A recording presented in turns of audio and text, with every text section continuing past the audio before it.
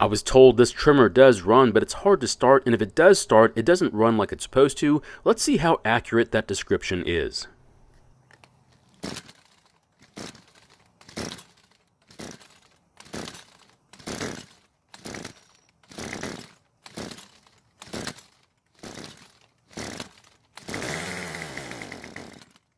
Well, they weren't kidding about being hard to start, and of course, it's not going to stay running either. Now, I got this free snapper trimmer by using a website that has a free section where you get to pick up items people are giving away either by putting them on the curb or making arrangements. The only issue is that you got to be quick and either make contact with them first or get to the location before anybody else does.